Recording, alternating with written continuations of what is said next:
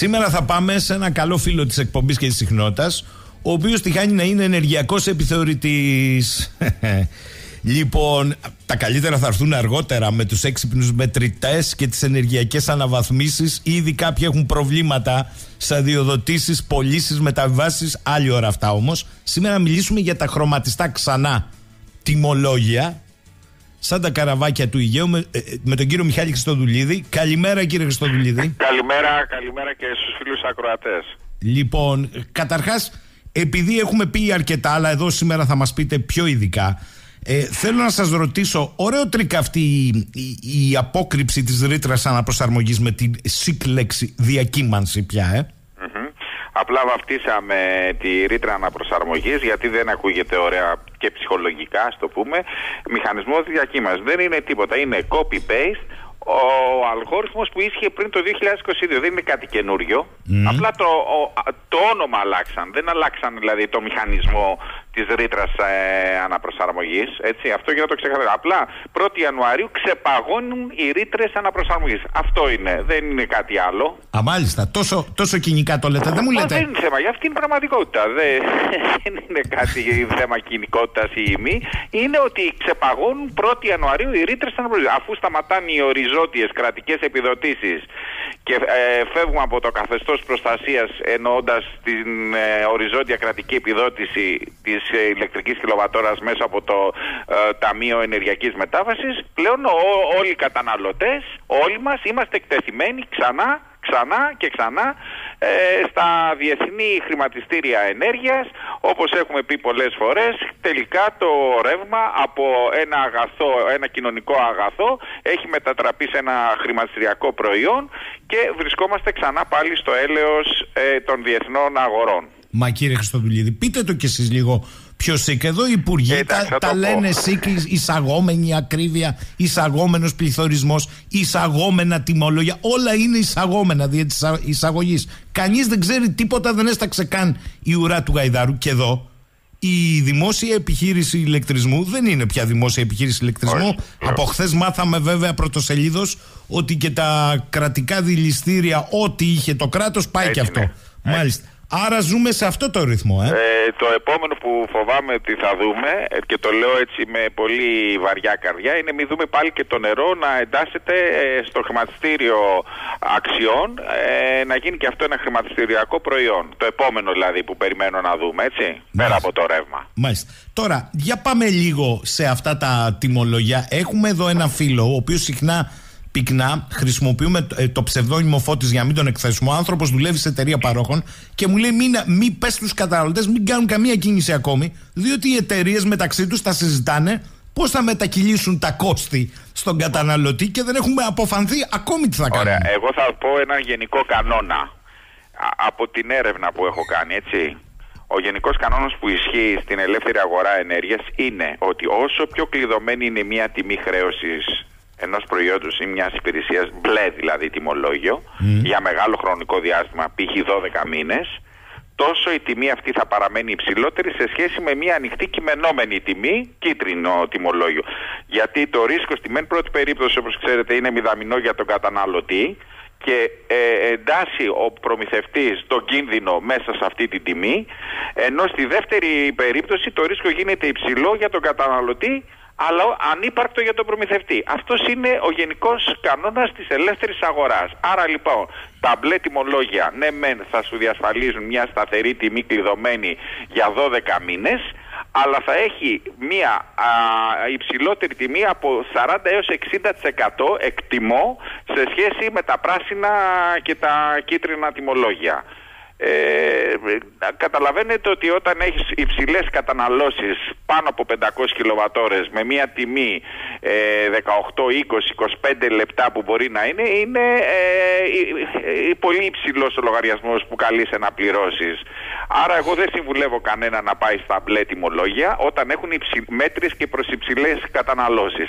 Τα μπλε τιμολόγια είναι γενικά για χαμηλές καταναλώσεις που είναι κάτω από 200 κιλοβατόρες το μήνα, για νοικοκυριά που δεν έχουν ούτε την όρεξη, ούτε τη διάθεση, ούτε την ικανότητα, ούτε τη δεξιότητα να κάνουν διαδικτυακή έρευνα αγοράς τιμολογίων, θέλουν να έχουν το κεφαλάκι τους ήσυχο για 12 μήνες. Θα το πληρώνουν λίγο παραπάνω, αλλά όταν είναι μικρές οι καταναλώσεις, δεν είναι, ε, ας το πούμε, ανεκτός ο λογαριασμός. Ε, ε, εντάξει, μα, δηλαδή αν έχεις ένα εξοχικό που το επισκέπτεσαι μια φορά στο τόσο, ε, τι κατανάλωση θα έχεις. Οπότε πας εκεί σε ένα μπλε για 12 μήνες και ε, εισχάζει το κεφάλι σου. Αν ζεις σε ένα χωριό, ναι. να σας πω τώρα, αν ζεις στην Αξό, εδώ, ναι. στον Ψιλορίτη, και ζεις μόνιμα και είσαι 85 χρονών εσύ, 80 η κυρά. Ναι. Να το κλειδώσεις και να το ακριβοπληρώσεις ούτως ή άλλως για να έχεις το κεφαλάκι σου ήσυχο. Γιατί κοιτάξτε, το να μπει στο μαθηματικό τύπο. Ε, Κανείς δεν το μπορεί αυτό. Κανείς, τώρα, εδώ ναι. αυτοί που το βγάλαν δεν ξέρουν να τον επιλύσουν. Τι μου λέτε τώρα; Μάλιστα. Αυτοί, που τον, ε, αυτοί που τον βγάλαν και δεν ξέρουν να το επιλύσουν. Και, και λέω ε, με πλήρη γνώση αυτό που σας λέω, έτσι. Μάλιστα. Άρα μας λέτε ότι εδώ χάσει κερδίσει, ο μόνος που δεν θα χάσει είναι ο πάροχος. Ο πάροχος σε καμία περίπτωση δεν χάνει. Για να σας πω για ποιο λόγο. Γιατί και στο μπλε που έχει κλειδωμένη την τιμή ε, είναι υψηλή η τιμή διότι έχει, διότι έχει περιλάβει το ρίσκο έτσι, mm, της, mm. της ε, ε, αύξησης ε, του, της χοντρικής του ρεύματος. Στο πράσινο είναι ημικειμενόμενο ημισταθερό που θα, αν έχουμε χρόνο θα πούμε τις απάτες του πράσινου τιμολογίου, τις παγίδες και τα γκρίζα σημεία τα οποία στην αρχή σου ρίχνουν το τυράκι, τσιμπάς εσύ αλλά τον άλλο μήνα ή τον παράλληλο μήνα είναι η φάκα και δεν το έχεις πάρει χαμπάρι, έτσι κοινικά το λέω. Λοιπόν, το πιο ξεκάθαρο για να είμαι ειλικρινής, όσο και να φαίνεται ας το πούμε παράδοξο, είναι το κειμενόμενο, το κίτρινο. Ναι. Στο, στο, στο οποίο θα παίζεις το ρίσκο και λες παίζεις... εγώ τζογάρω. Μάλιστα. Θα, α, α, το είπατε, το είπατε ωραία. Θα παίζεις στοίχημα, θα τζογάρεις. Ναι, Τα, τα άλλα αλλά, είναι... Αλλά δεν υπάρχουν ε, μαύρα και σκοτεινά σημεία. Μάλιστα. Στα άλλα ε, παίζεις blackjack δηλαδή, ε; Ναι, το παίζω εκεί πέρα και λέω, ε, ξεκινάω αφού υποτίθεται Έχουμε, ζούμε τώρα. Τι ωραία που μου τα λέτε σήμερα, κύριε Χριστοδουλίδη. Μ' αρέσει ο, ο Έλληνας κάποτε, τον βάλαν στο τρυπάκι του χρηματιστηρίου. Το θυμάστε, 12 η ώρα πάγωναν οι δουλειές για να πάνε από το 2000 έχεις, ναι. από το 99 έχει ξεκινήσει αυτή η Τώρα ιστορία. πάμε σε άλλο. Έτσι. Άρα είμαστε εξοικειωμένοι. Όπως άλλο, όσοι είμαστε εξοικειωμένοι, μας φαίνεται τίποτα παράξενο. ελάτε, ελάτε, συνεχίστε. Λοιπόν, λέω το, λέω το εξής. Ότι ε, εάν ε, διανύουμε μια σχετικά ήπια ενεργειακή περίοδο όπως τώρα, Νοέμβριο-Δεκέμβριο που δεν έχουμε τίποτα γεωπολιτικές εξελίξεις και σημαντικές ή τεκτονικές ενεργειακές αλλαγές στον πλανήτη κάποιο νέο πόλεμο. Εντάξει, ε, έχουμε τώρα στο Ισραήλ ε, ελεγχόμενος είναι, αυτό, είναι ελεγχόμενο αυτό το μέτωπο. Αν αύριο μεθαύριο, που δεν το ξέρω να σας το πω γιατί δεν είμαι ειδικός, ε, υπάρξει μια ένταση και μια γενίκευση του, των πολεμικών συγκρούσεων και εμπλακούν και άλλες χώρες της Μέσης Ανατολής, π.χ. Ιράν, άστα να πάνε.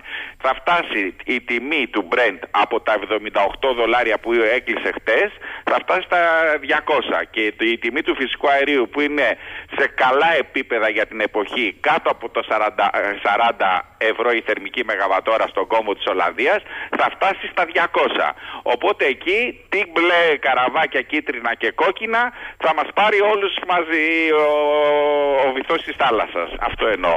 Θέλω να πω ότι όσο δεν υπάρχουν τέτοιες ας το πούμε εξελίξεις ενεργειακές που, που θα δημιουργήσουν μια αύξηση στις διεθνείς τιμές της ενέργειας τα πράγματα είναι ελεγχόμενα. Και λέω ελεγχόμενα ότι το κίτρινο, το κειμενόμενο θα παίζει από έως χωρίς να είναι, να είναι αισθητές οι αλλαγές. Αυτή είναι η προσωπική εκτίμησή μου. Κύριε Τώρα το μπλε ε, θα είναι πάντα υψηλότερο, ό,τι και να γίνει. Αλλά θα είναι κλειδωμένο. Οι οποίοι δεν έχουν χρόνο ούτε οι υπολογιστές ούτε ε, κινητά για να κάνουν ε, διαδικτυακές έρευνες αγοράς θα παραμείνουν στο μπλε. Αν έχουν λίγες καταναλώσεις και, και θέλουν να έχουν ένα σταθερό οικογενειακό οικονομικό προγραμματισμό. Έχω κάθε μήνα αυτά τα έσοδα.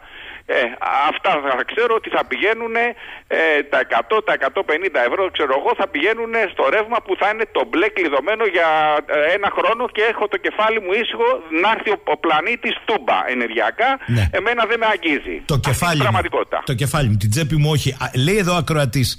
Εταιρείες μας λένε, ακούστε το κύριε Χριστοδουλίδη, ναι, αρχί, ναι. αρχίσανε οι εξυπνάδες τώρα. Ότι αν πάνε μέχρι 31 12 στη δικιά τους εταιρεία, δεν θα πληρώσουν τη ρήτρα αναπροσαρμογή, τη διακύμανση όλο το 24. Όχι, δεν έχει αυτό. Προ τι είναι αυτά; δεν, δεν, δεν, υπάρχει αυτό. Ναι, όποιον πιάσουν είναι εδώ. Κοιτάξτε. Όχι, όχι, όχι. Αυτό ε, δεν υπάρχει. Ε, ε, ε Όποιος επιλέξει στον πάροχό του. Εγώ είμαι στη ΔΕΗ, σας λέω. Ναι, ναι. Και επιλέξω το πράσινο, ε, εφαρμόζεται ε, πολύ αυστηρά η ενιαία μεθοδολογία, η ενιαία φόρμουλα τιμολόγησης του ρεύματος και θα υπάρξουν κυρώσεις και από το Υπουργείο και από τη Ρυθμιστική ΑΡΕ αν ξεφύγουν από, αυτό το, από αυτή τη φόρμουλα. Γι' αυτό βγήκε το πράσινο. Για να φορμουλάρουν όλους τους παρόχους να τιμολογούν την χρέωση της κιλοβατόρας με συγκεκριμένο τρόπο. Εάν κάποιος αποκλίνει θα έχει επιπτώσεις. Άρα αυτό δεν υπάρχει που λέτε. Αυτό, όλα τα άλλα μπορούν να λέω σου σερβίρω και ταξίδια στο Ντουμπάι ή δεν ξέρω εγώ ναι, πού, ναι, ναι, στα κίτρινα. Όχι στο πράσινο. Το πράσινο είναι αυστηρά ελεγχόμενο και με συγκεκριμένες νόρμες. Δεν γίνεται αυτό. Κύριε Χριστοδουλίδη, καταλάβατε. Άρχισε το κολπάκι τώρα. Όποιον τσιμπήσουν. Ε, ναι, θέλω να έρθουμε στα πράσινα, αλλά πριν από αυτό θέλω να σας ρωτήσω κάτι που είναι ευρύτερης πολιτικής οικονομίας. Με συγχωρείτε, αλλά αν είναι έτσι, με συγχωρείτε, ναι. θέλω να το πω. Αν είναι έτσι, να κάνουμε όλη λογική επιχειρήσεων και ελεύθερης αγοράς παρόχων, δηλαδή καπιταλισμό έχουμε. Ναι. Εάν μετακυλεί το κόστος στον καταναλωτή με την εγγύηση του ελληνικού κράτους, γιατί να μην ανοίξω κι εγώ μία; Ναι, γιατί όχι. Ε, μαζί, κι εγώ μαζί σας είμαι. Ναι. Μάλιστα. Μαζί σας είμαι, όπως το είπατε. Το θέμα, ξέρετε ποιο είναι, ότι ε, γενικώς και το είδαμε και στα χρόνια της ενεργειακής κρίσης αλλά και μετά ας πούμε υπάρχει μια συνδοσία από πλευράς παρόχων ενέργειας. Ε, δεν υπάρχουν οι ελεκτικοί μηχανισμοί κανονικά που η ρυθμιστική αρχή ενέργειας δεν θα πρέπει να έχει διακοσμητικό ρόλο στη χώρα αλλά θα πρέπει να τραβάει αυτιά δεν συμβαίνει. Γιατί ούτε ο ανταγωνισμός λειτουργεί που θα έπρεπε. Γιατί απελευθερώθηκε η αγορά ενέργειας; Για, για να λειτουργήσει υποτίθεται ο ανταγωνισμός για να έχει φθηνότερο ρεύμα. Έλατε όμως που καρτελοποιήθηκε ε, η, η, ενέργεια, η, το ρεύμα ε, και δεν έχει υπάρξει ούτε μία, προσέξτε αυτό που σας λέω, με, το λέω με πλήρη γνώση, ούτε μία καταγγελία ή μία επιβολή προστίμου σε εταιρείες οι οποίες ε, έχουν καρτελοποιήσει το ρεύμα. Το ξέρετε αυτό. Έτσι. Λοιπόν, κάποια στιγμή σε αυτή τη χώρα πρέπει κάποια πράγματα να μαζευτούν. Λοιπόν, εγώ θέλω να πω καλοπροαίρετα ότι ο κύριος Κυλακάκης έχει αυτή την πρόθεση. Εγώ το λέω καλοπροαίρετα. Όμως έτσι όπως έχει διαμορφώσει τους μηχανισμούς των χρωματιστών τιμολογίων, πολύ φοβάμαι ότι δεν θα θεραπεύσει το πρόβλημα, απλά θα το συντηρήσει. Μάλιστα.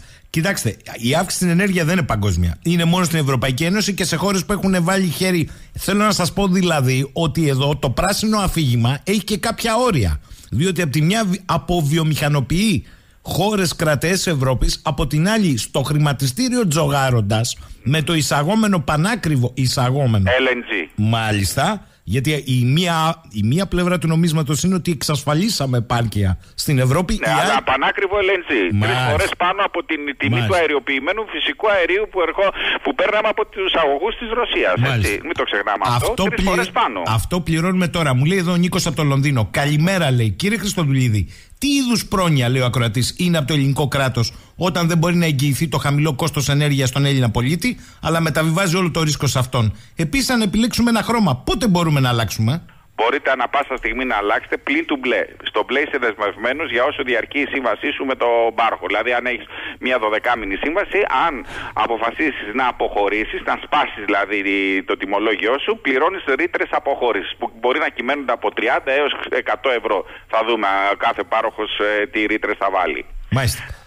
Έρχεται... Ενώ στα υπόλοιπα τιμο... χρωματιστά τιμολόγια, στα πράσινα, κίτρινα και πορτοκαλί, μπορείς να αποχωρήσει ανα πάσα στιγμή χωρίς να πληρώσεις ούτε ένα ευρώ ρήτρα αποχώρησης. Αυτό να το ξεκαθαρίσουμε. Έρχεται ο φίλος ο Φώτης, λοιπόν, που χρησιμοποιεί ο το όνομα Φώτης, άλλο είναι ναι. το όνομα του. Και ναι. λέει, Καλημέρα. Πες σε παρακαλώ πολύ στον εκλεκτό καλεσμένος που είναι και ενεργειακό επιθεωρητής να εξηγήσει στο κοινό τι σημαίνει το να τιμολογεί ο κάθε πάροχος με κατεκτήμηση, μέσα εταιρεία δουλεύει, ναι, το ναι. κόστος χονδρικής αγοράς της κιλοβατόρας, με κατεκτήμηση το κόστος χονδρικής αγοράς της κιλοβατόρας, βάσει της οποίας αυτής εκτίμησης θα υπολογίζει το τελικό κόστος χρέωσης. Τι άποψη έχει, Θα λοιπόν. ρισκάρει, ακούστε, υποτιμολόγηση ή θα υπερτιμολογήσει ώστε να είναι καλυμμένο αν πέσει έξω ε, στην ε, εκτίμησή του; Λοιπόν, καταρχήν εδώ Πράσινο τιμολόγιο μου γράφει. Υπάρχει το εξής τραγέλαφο μπορώ να το πω. Δώσανε τιμές για τα πράσινα τιμολόγια οι διάφοροι πάροχοι χωρίς να έχει κλείσει ο μήνας Δεκέμβριος που η τιμολόγηση για το πράσινο τιμολόγιο γίνεται με, λαμβάνει υπόψη και την τιμή εκαθάριση του προηγούμενου μήνα. Πώς ρε φίλε εσύ δίνεις τιμή στο πράσινο τιμολόγιο αφού ο Δεκέμβριος δεν έχει κλείσει ακόμα; Λέει κατεκτήμηση. Τι πάει να πει κατεκτήμηση; Εσύ εκτιμάς π.χ. ένα νούμερο ότι η τιμή εκαθάρισης του Δεκεμβρίου θα κλείσει στα 120 ευρώ η μεγαβατόρα και αύριο μπορεί να κλείσει στα 140 στο τέλος του μήνα. Δεν το ξέρω. Άρα για ποιο λόγο. Άρα πώς δουλεύουν. Μπακαλίστικα. Αυτός είναι είναι ο τρόπος. Δηλαδή, κάνω εκτιμήσεις έτσι όπως με βολεύουν, προκειμένου εγώ να φέρω τα νούμερα στα, στα επίπεδα που θέλω προκειμένου να προσελκύσω ένα πελατολόγιο, να το κρατήσω αλλά στο τέλος του μήνα θα δει κάτι άλλο από αυτό που του προανήγγυλα στις αρχές του μήνα. Δεν ξέρω αν ναι, έγινε ναι, ναι. κύριε Σακίνη. Άρα αυτή είναι εγγυημένη ό,τι και να γίνει. Μου λέει άλλος εδώ,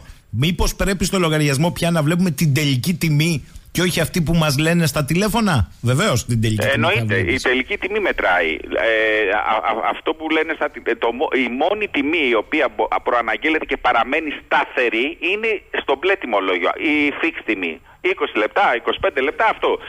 Όλα τα άλλα τιμολόγια, όλα τα άλλα χρώματα είναι εκτεθειμένα από το 100% έως και παρακάτω στο χρηματιστήριο, στις χρηματιστηριακές διακυμάνσεις των διεθνών τιμών ενέργειας. Άρα σημαίνει ότι δεν μπορεί κανένας να σου πει πρώτη του μήνα ότι η τιμή που θα σε χρεώσω στο τέλος του μήνα κατανάλωσης θα είναι αυτή.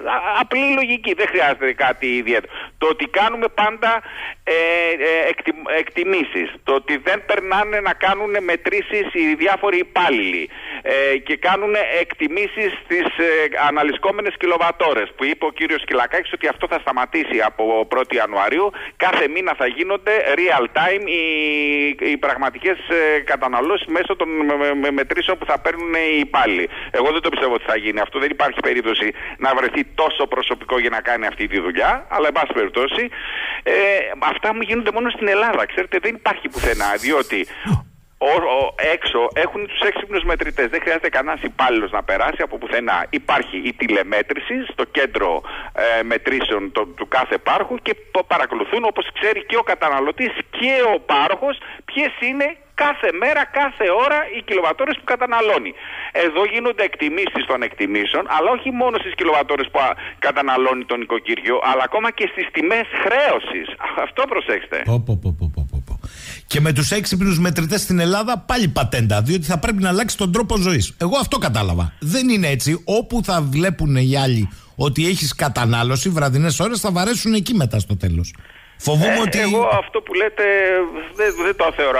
Ενώ κανονικά ο έξυπνος μετρητής είναι για να διευκολύνει τον καταναλωτή σε ένα κομμάτι που λέγεται διαχείριση της ενέργειας στην βάση της εξοικονόμησης. Όπα, όπα, κύριε Χριστοδουλίδη, μισό λεπτό. Επειδή είστε και ενεργειακός επιθεωρητής ναι. εδώ. Μήπως εδώ όμως κολλάει το, η άλλη κουβέντα που είχαμε κάνει θα πρέπει να είναι ένα βαθμισμένο ενεργειακά. Πλήρωνε κάθε φορά, ιδίως τις παλιές, για ενεργειακή αναβάθμιση μέχρι ναι, αυτό είναι μονόδρομος. Ε, ο πράσινος φόρος στα ενεργοβόρα κτίρια έρχεται. Τι, δεν το ξέρετε. Αυτό είναι με απόφαση της Ευρωπαϊκής Ένωσης από 1η Ιανουαρίου του 2028 επιβάλλονται ε, πράσινοι φόροι αν δεν ανακαινιστούν, αν δεν αναβαθμιστούν ενεργειακά τα ενεργοβόρα κτίρια να πάνε σε μέτρια και προς τα πάνω ε, ενεργειακή θωράκιση. Εννοείται ότι θα πληρώνονται πράσινοι φόροι. Αυτό έχει θεσμοθετηθεί πλέον από την ε, Ευρωπαϊκή Επιτροπή. Δεν είναι κάτι που το λέμε έτσι θεωρητικά. Μάλιστα. Στο διατάφτα κύριε Χριστοδουλίδη, διότι έχετε, ε, όπως ξέρετε πολύ καλά, στην Ελλάδα έχετε μία πασπερμία στο, στο χαρακτηριστικό, ε, που φτάσαμε, τη φυσιογνωμία του καταναλωτή. Αλλιώς είναι στα χωριά, αλλιώς είναι στα ενιαστικά, αλλιώς είναι στα αστικά, και στα αστικά επίσης αλλιώς είναι οι υποβαθμισμένες λεγόμενες γειτονιές, Αλλιώς είναι οι high-tech γειτονιές. Ναι. Ποιο είναι το συμπέρασμα που βγάζετε; Το συμπέρασμα είναι ότι δεν υπάρχει μία ε, ενεργειακή πολιτική σε αυτή τη χώρα με κοινωνικό πρόσημο. Δηλαδή, δεν μπορείς όλα να τα τσουβαλιάζεις στο όνομα της πράσινης ανάπτυξης ενώ δεν έχεις πράσινη ανάπτυξη. Θα έλεγα τι έχουμε πράσινα άλογα έχουμε και μπορούμε σε μια άλλη εκπομπή να το αναπτύξουμε. Γιατί η Ελλάδα προσέξτε η Ελλάδα η οποία έχει το ίδιο ενεργειακό μείγμα με τη Δανία η Δανία είναι φτηνότερη στην χρέωση της ηλεκτρικής κιλοβατόρας, ενώ η Ελλάδα είναι υψηλότερη. Τι φταίει, τι κάνουν δηλαδή σωστά οι Δανείοι και τι κάνουν λάθος οι Έλληνες. Αυτό είναι ένα άλλο θέμα. Μία κουβέντα, μία κουβέντα μπορείτε να μας πείτε. Ναι. Ε, η κουβέντα είναι, η απάντηση είναι η εξής. Ότι στην Ελλάδα δεν λειτουργεί η, η, ας το πούμε, η πράσινη ανάπτυξη με όρους πραγματικούς ενεργειακής ε, εξοικονόμησης. Δηλαδή όταν εμένα μου φτιάχνεις ΑΠΕ αιωλικά και φωτοβολταϊκά πάρκα και δεν έχεις ούτε μία αποθήκη για να αποθηκεύεις την ενέργεια όταν χρειάζεσαι να την ξαναδίνεις άρα πηγαίνει χαμένη άρα ο βαθμός απόδοσης των συστημάτων είναι μηδενικός άρα έχεις το μικρότερο δίκτυο κόστος ωφέλειας από την αξιοποίηση του τζάμπα ήλιου και του τζάμπα άνεμου ενώ οι Δανείοι έχουν ε, πλήρη αξιοποίηση διότι για κάθε ένα κιλοβάτ εγκατεστημένου συστήματος απέχουν και ένα κιλοβάτ εγκατεστημένης μπαταρίας.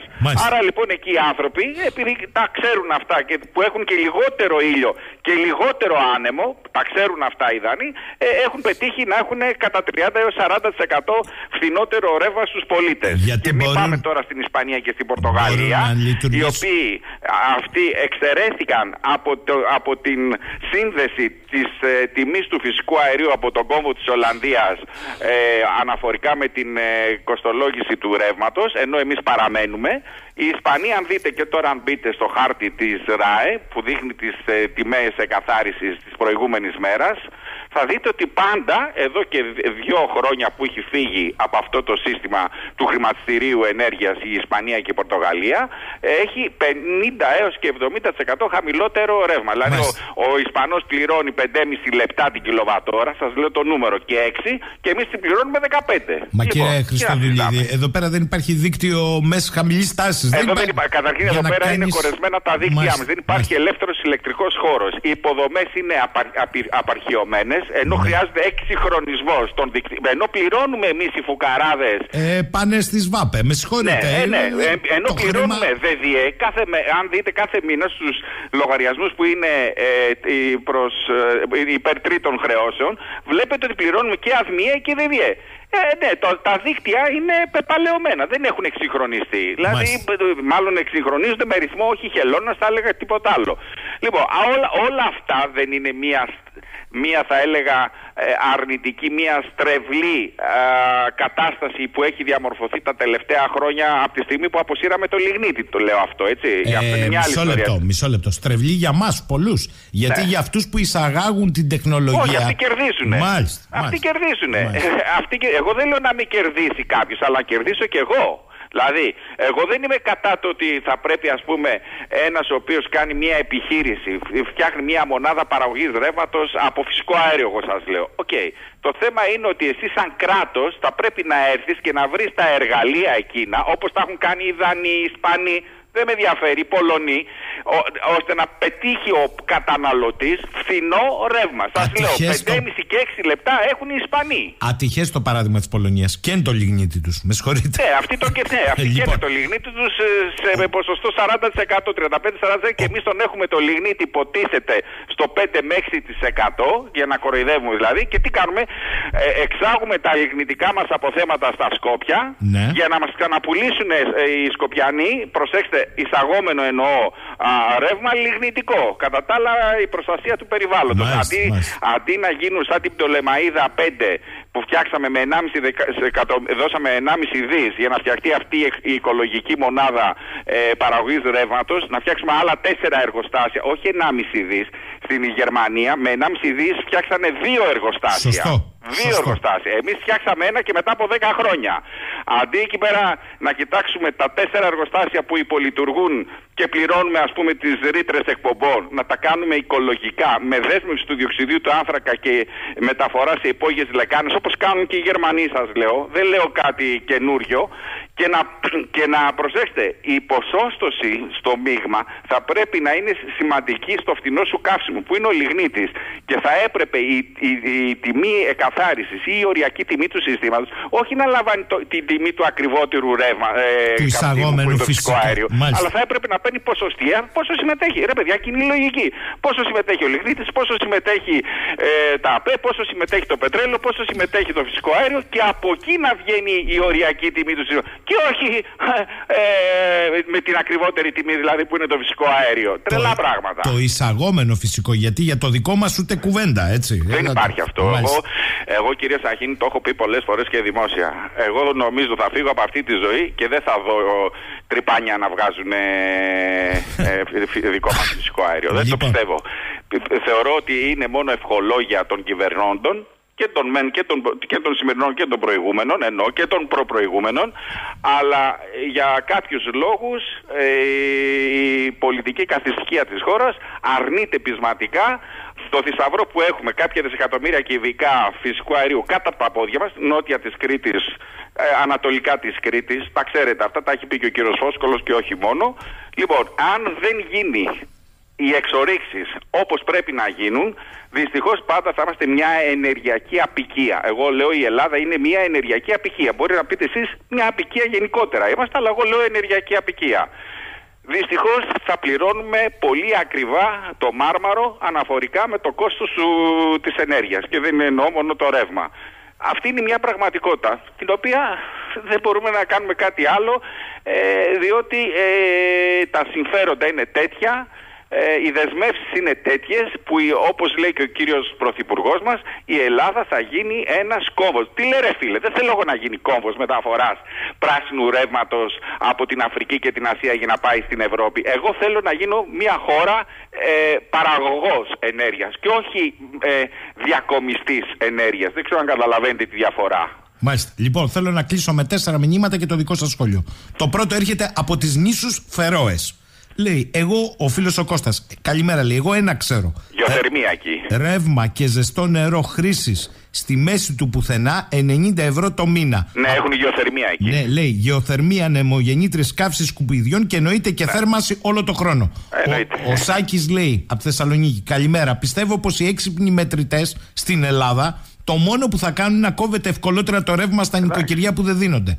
Ο Λεωνίδας από τα Γιάννητσά, ο Λιγνίτης 50 φορτηγά επί 24 τόνους καθημερινά. Πηγαίνουν στο μοναστήρι. Μάλιστα, από Φλόρινα σε μοναστήρι σε ναι. εργοστάσιο. Ναι, ναι, γνωστά είναι αυτό. Ναι. Ε, εδώ και καιρό γίνεται αυτό. Ότι δορίζουμε, χαρίζουμε, δεν ξέρω αν ξέρετε, χαρίζουμε το λιγνίτη μας στα Σκόπια. Για να μας πουλήσουν πίσω πανάκριβο ηλεκτρικό ρεύμα από λιγνίτη όμως. Έτσι, από λιγνίτη, μην το ξεχνά. Ε, μιλάμε η απόσταση από τα σύνορα είναι 10 λεπτά. Δηλαδή οι εκπομπέ διοξιδίου του άνθρακα ε, σταματούν στα σύνορα. Δεν έρχονται προς την Ελλάδα. Έτσι. Μάλιστα. Και κλείνω με το φώτι που ε, χτυπάει πάντα τελευταίος, αλλά το κατέχει το θέμα όπως και εσείς και λέει. Κύριε Χριστοδουλίδη, το, λέει, το λέω λέει όχι σε εσάς, εσείς το καταλαβαίνετε σε όλους τους ακροατές. Υπάρχει ένας τρόπος να μπλοκάρουν όλοι οι πάροχοι και όλο το σύστημα των παροχών και του ΔΔΕ. Να ζητήσουν μαζικά όλοι οι πελάτες την αλλαγή του μετρητή του σε έξυπνο. Γιατί το λέω, λέει, γιατί μέχρι στιγμής τα έξοδα για μια τέτοια ενέργεια πάνε στους παρόχους και όχι στον πελάτη. Φαντάζεστε τι θα γίνει αν όλοι μαζί το ζητήσουν. Τι ε, εννοεί; Χαμός. Χαμός, ε; Εννοείται. γιατί έχετε καμιά αμφιβολία γι' αυτό; Μάλιστα. Κύριε Χριστοδουλίδη, θα τα ξαναπούμε. Διότι... Να είστε καλά, ευχαριστώ πολύ. Εγώ ευχαριστώ. Και φιλιά στην όμορφη Κρήτη. Να είστε καλά. Ο κύριος Μιχάλης Χριστοδουλίδης, λοιπόν, ενεργειακός επιθεωρητής. Είδατε έτσι, πολύ χυμά, με ωραίο τρόπο, σας εξήγησε τι ακριβώς γίνεται